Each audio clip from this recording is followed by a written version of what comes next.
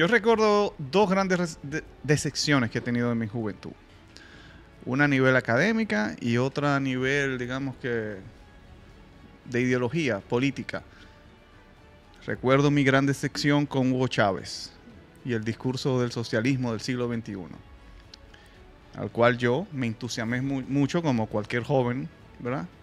Rebelde, que se había atrapado en un discurso, eso, de cambio, de rebeldía, de destrucción para construir algo nuevo. Lamentablemente ya sabemos que todo lo que pasó con Venezuela y todo lo que está viviendo Venezuela con ese discurso. Y otra gran decepción fue en la universidad, cuando me puse a estudiar periodismo. No se lo recomiendo a nadie. No estudien periodismo, señores. No pasen cinco años en una universidad estudiando periodismo. Estudien, si van a la universidad, estudien una carrera donde le vayan a exigir un título para poder ejercer derecho, medicina, una cosa así. Pero periodismo hay muchos institutos donde usted puede estudiar periodismo. Además, el periodismo es algo que a nadie se le puede obligar, se le puede prohibir ejercer. Está en la Constitución. Tenemos derecho a la libre expresión y a, ser, a informar y a, ser informado.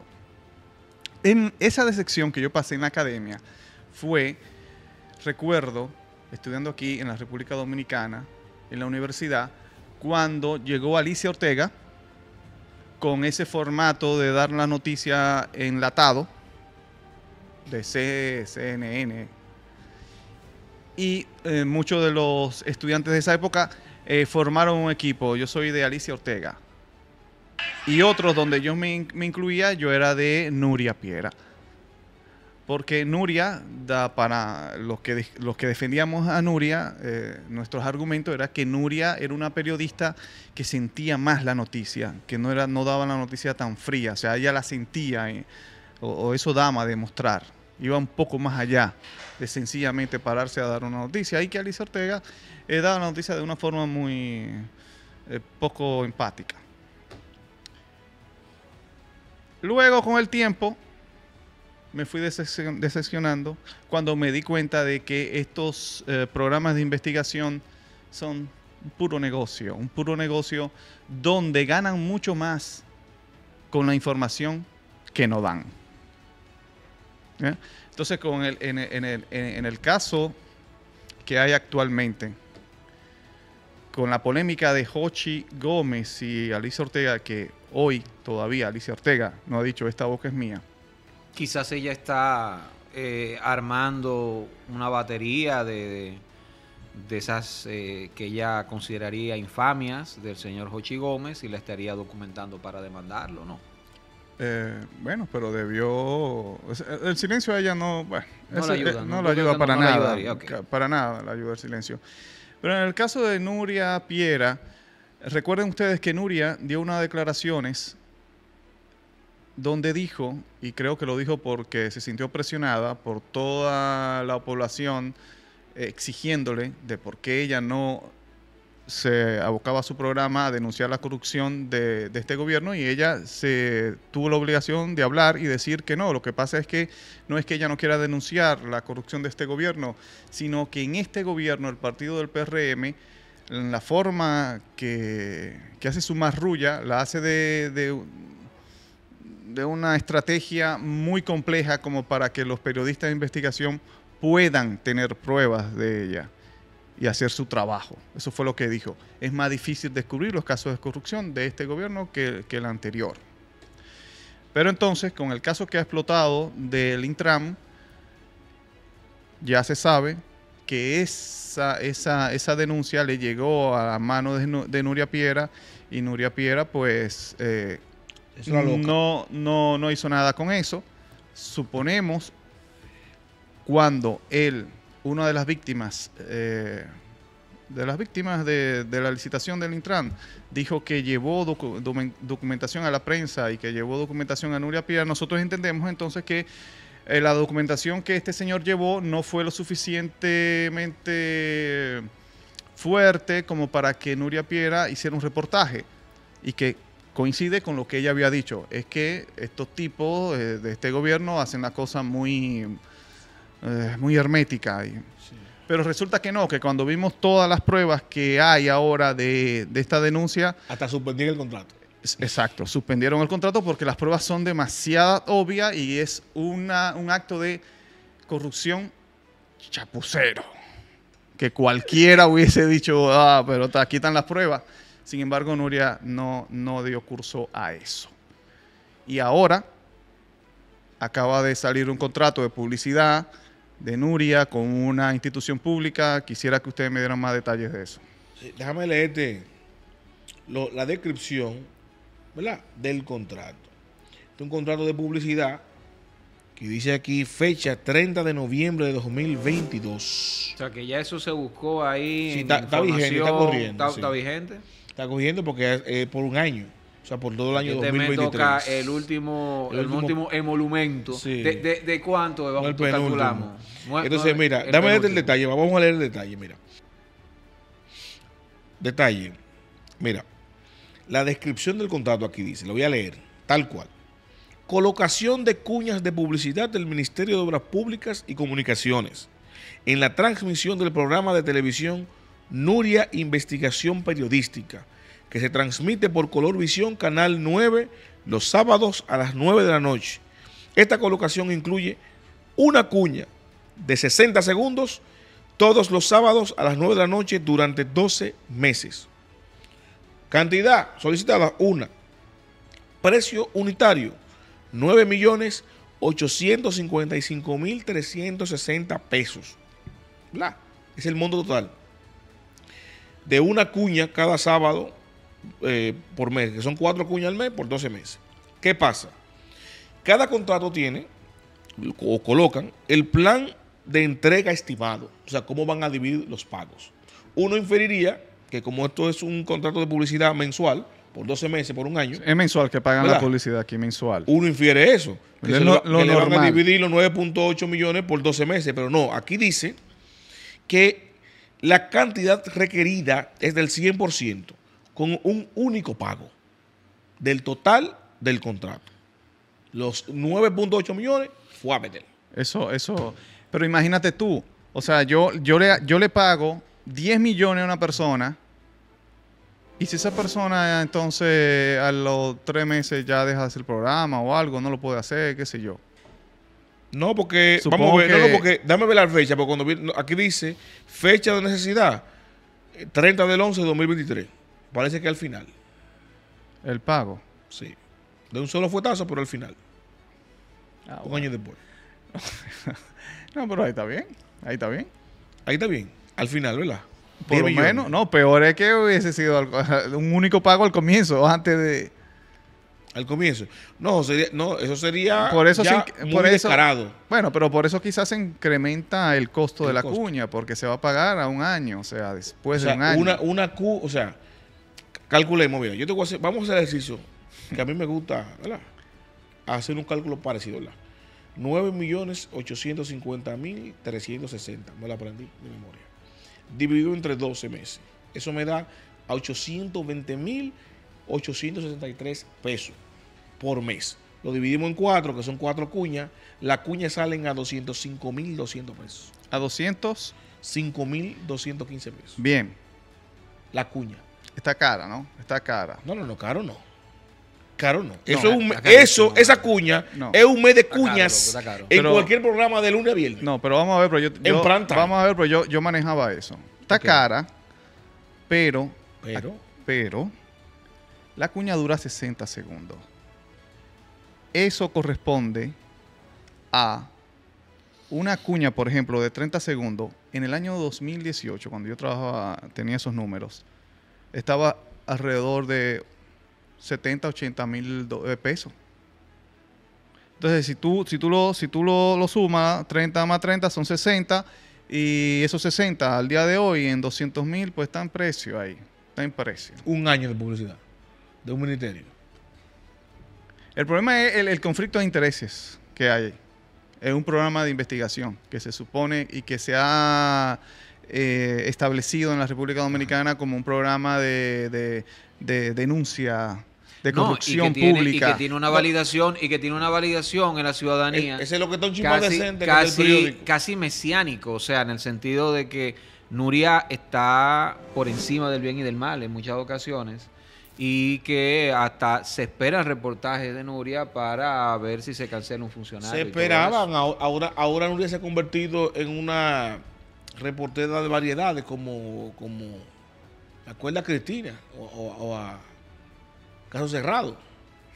O sea, lo- los reportajes de Nuria ahora son una barbería, un doctor. Le quedó mal Una lo de Santana. Barbershop. ¿Tú, tú- tú- Le dio promoción. No, le- le- ella, ella no entendió la mecánica de, de esta, de esta sociedad actual y de los jóvenes y cómo el la naturaleza del negocio de Santana y lo, y lo elevó por las nubes. No, y no, y que la gente tampoco le, cre- le hizo, le hizo mucho caso. La gente dijo, ven acá, ¿y por qué se ensaña con una Con- con un negocio de una peluquerita? ¿Verdad? Cuando han explotado 40 casos, que usted por menos de ahí, que por un 5% de ahí le hace una miniserie. Porque a funcionarios de pasados, Nuria le hizo una miniserie de 6, 7 programas. Por menos de ahí. Y aquí explotan cosas subsanables, como dice Doña Milagro. Y Nuria no dice ni esta boca es mía. Y no solamente no dice ni esta boca es mía, sino que va una persona y se la picha huevita, como decimos. O sea, le lleva el caso grande, le lleva evidencias, usted no tiene que recogerla, porque usted es un periodista de denuncia. Nuria sin prueba, nada más con denuncias de gente, se le tira a una gente y lo entrevista, y en la entrevista lo hace quedar mal, gagueando, y, ya con eso saca un reportaje. Y este señor se le, se- se le acerca a Nuria, un contrato en mano, con fotografías en mano, con video en mano, de toda la vagabundería que estaban pasando en el Intran. Y Nuria se hizo Y de cómo le pintaron, por ejemplo, los equipos que él mismo había semaforizado. Con Claro, la empresa, esas son las con que te empresa digo. austríaca. Bueno, la verdad es que no solamente, y en, ese caso de Zavala, amén de Nuria Piera, también tú te fijas que Alicia Ortega, cuando interviene para darle el último fundazo eh, a, a Hugo Veras, ¿eh? a rematarlo ya, para que, óyeme ya, no fue contando con las evidencias del, del empresario argentino. Fue para defender a la empresa Transcor LP, la estadounidense, La original. la original. No, no fue, no, no, fue a Transcor. Ahí fungió, en ese caso, como vocera de Transcor. O del bufete de abogados que. o del bufete de abogados que los representa en República Dominicana, que es Pellerano Herrera.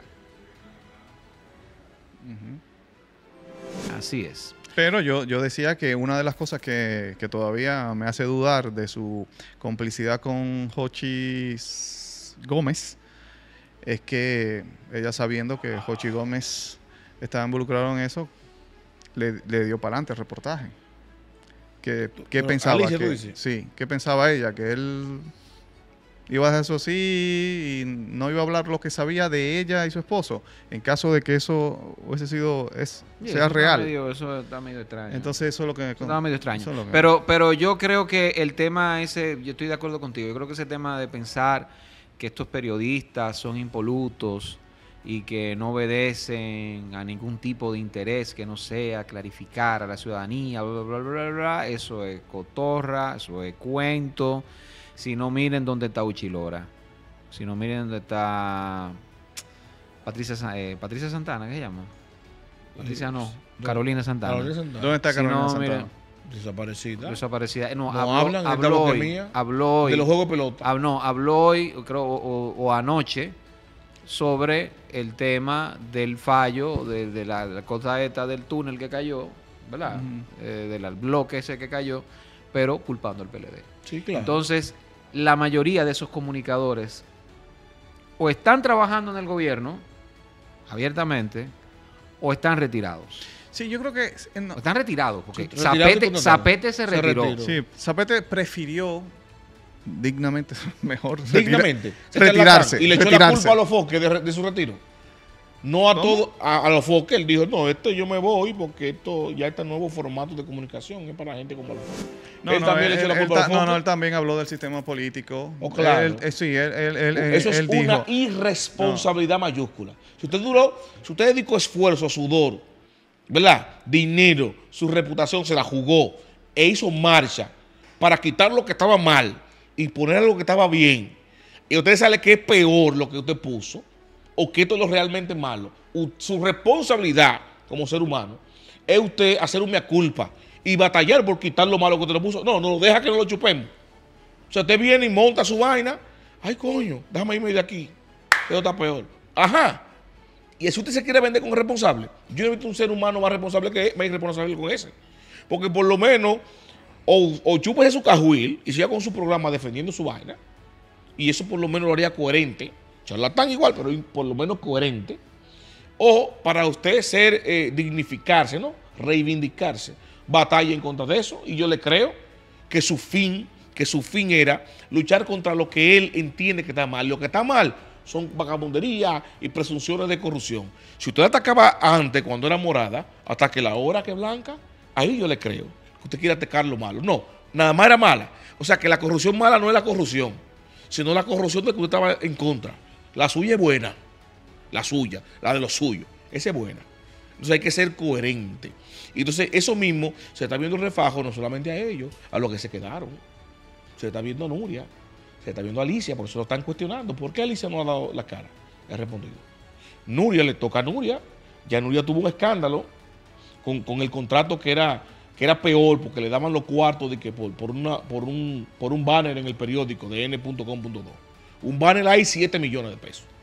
Ahora por lo menos le pusieron cuña para que tigres como tú que le buscan la vuelta. Como Los yo. justif- No, claro, ya, no, ese- está más o menos no, dentro ya del monto ese- de la ese con- cuña. no, ese contrato de Nuria está, está, claro. está, a precio de mercado. está- Claro, por de eso. hecho, Por eso lo pusieron, por eso le pusieron cuña de 60 segundos. Para que pasara más, porque estaba De fuerte hecho, mira, ella va- un banner en el un periódico. banner, ella va a aceptar que le paguen, duro, que le paguen cuando se cumple el contrato. O sea, eso. Pero, pero que me firmen a mí uno, ay, qué dolor. Fírmenme a mí uno de un año y démelo en el 24. el- el pro- el problema Eh, con ese con- el problema, disculpan, el problema con ese contrato que yo veo es que viene de una institución como Obras Públicas que que hay cuarto. que, que es, es una institución donde nosotros los ciudadanos dependemos de los periodistas para que nos mantengan informados de las obras y de los peligros y de la y todo lo que pueda eh, afectarnos de parte de ese ministerio. Y si, imagínate, los periodistas No. están cobrando de ese ministerio, pero hay ¿Qué un conflicto de intereses de- ahí. Del desplome y de la vaina. Exacto. Por Yo ejemplo, espero que este sábado haya un reportaje. ella no puede decir nada porque sería Está ética. comprada. Sería, no es comprada. La palabra no sería comprada, pero éticamente es? está comprometida con eso. No, eso está comprado entonces. Bueno, Porque, eh, porque usted lo que está pagando es la cuña. No que se calle. ahí está el ni conflicto con de el contubernio, ningún conflicto. Ella no es periodista ni- ni- e- e independiente. No es una cuña. Y usted me está pagando para yo ponerle mi cuña de 60 segundos. A precio de mercado, bien. 205 mil por cada cuña. A, su- a precio de mercado multiplicado por 4. Entonces, el compromiso supuesto que ella tiene son esos 60 segundos. Después de ahí le quedan, no una hora del programa, o dos. ¿Cuántas horas dura? Lo. No, ya no dura Una hora, una hora. Dura como hora y media. una Ya le- ahí le quedan, pon que usted ya ponga más cuña, le quedan 45 minutos de programa. Dedíquele 10. Dedíquele 10 a la ineficiencia del Ministerio de Obras Públicas de la Alcaldía del Distrito Nacional. Señores, esto es la quinta pata. Si algo sale sobre este tema de lo que ha pasado con la ineficiencia de obras públicas, fue Mario Herrera el causante de esto. José Maracayo, Odin Cruz. Recuerden suscribirse, darle like, activar campanita, comentar y todo eso.